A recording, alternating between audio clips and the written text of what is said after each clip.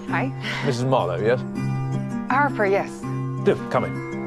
The words I have to say. It's a may well be beautiful house. simple, But they're Will it just be you staying, or Excuse me? Mrs. Marlowe? no? No.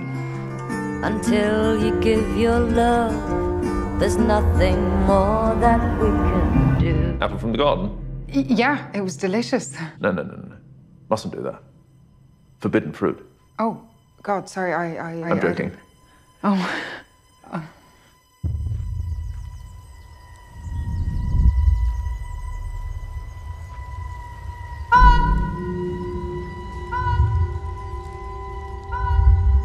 You're tormented. It feels more like. Haunted. Yeah. Something happened. My husband went upstairs to our balcony and let himself go. You must wonder why you drove him to it. Why? I didn't drive him to it. I thought it'd be true. But if you'd given him the chance to apologize, he'd still be alive. What?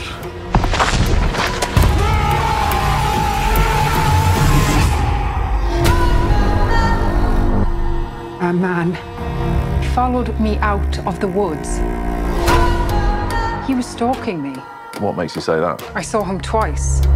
Twice. I don't know if he saw you once.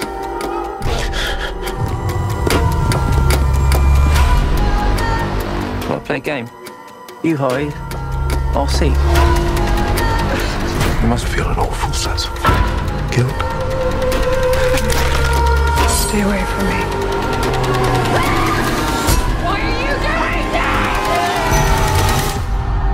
What are you?